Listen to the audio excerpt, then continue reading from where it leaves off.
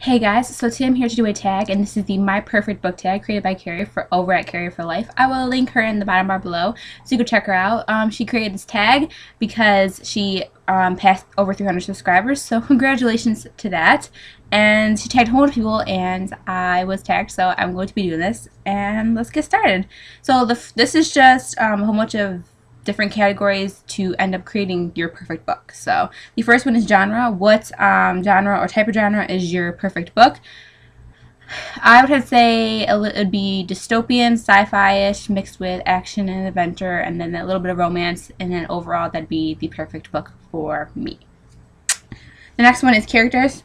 Is your main character a girl or boy, and what is he or she like?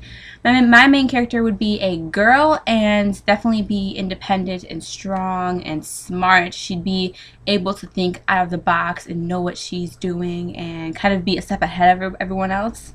Uh, question two, is there a sidekick? Yes, the sidekick would definitely be a best friend. I love the best friends as a sidekick. I think it's amazing. Um, another thing would be kind of cool um, just to meet someone along the way who you aren't really good friends with, but they are an amazing sidekick. So, but I definitely prefer the best friend. Uh, question three is your villain totally evil or in the gray?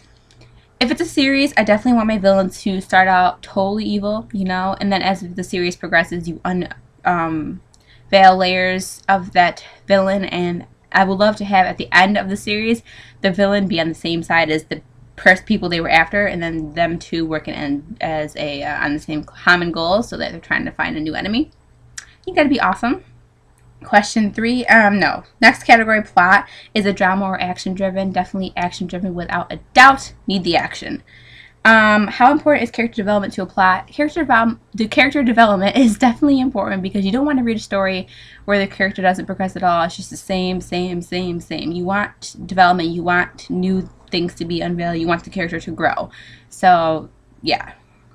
Question three Would there be any paranormal aspects thrown in? Definitely. I am a big fan of the paranormal aspects um, types of books. So, those are majority of the books on my shelf. So, I would definitely want there to be paranormal in the book. Um, romance. What's your ideal romantic interest? Uh, probably maybe best friends. Um, meeting each other at best friends falling in love i think that'd be cool. But i really do like the whole you know meeting you're just like meeting this new person in your life. They it's not love at first sight but you meet this new person and then you develop love. So i think that's i like that. But um question two love at first sight or slowly developed? Slowly developed. Definitely slowly developed. Because love at first sight it's just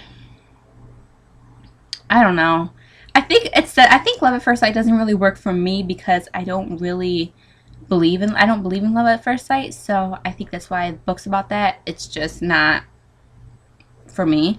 Um, so yeah. Question uh, three: Do they end up together uh, at the end? Definitely. How could you not have them end up together at the end? Just it's like it's just like cruel not to do it. So uh, question. The next one is ending. Happy, sad, or bittersweet ending. Happy or bittersweet. Do not want a sad ending. Try to stay away from them with a sad ending because I don't like it. Uh, cliffhanger or tardy and neat. Um, if it's a series, definitely cliffhangers. But at the end of the series, I want it to be tidy and neat. I need to know what happens and that everything's answered and cleaned up. So there you go. Um, lastly, does the perfect book ex already exist? For me, I have a bunch of favorites that I like, but the absolute 100% perfect book does not exist for me yet. Um, hopefully I can come across it because I want to. It'd be amazing, but it has not happened yet. And question two, if no, uh, if no, what author would you want to write your perfect book? I would have to say the author to write my perfect book I don't know. Uh, this is hard. I think I have to say Veronica Roth. I really like her writing style and I love her books, the, the Divergent books. So I think I'd have to say Veronica Roth. And also mixed in with um, Beth Revis, who wrote Across the Universe, because that was a phenomenal book. So Veronica Roth and Beth Revis, I think, put together could come up with a really, really interesting story.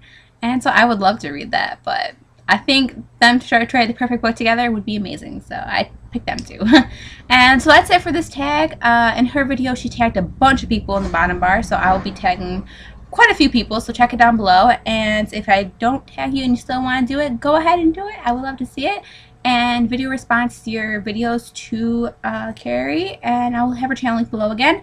And that's it. And I hope you enjoyed this video. And I'll talk to you guys later. Bye.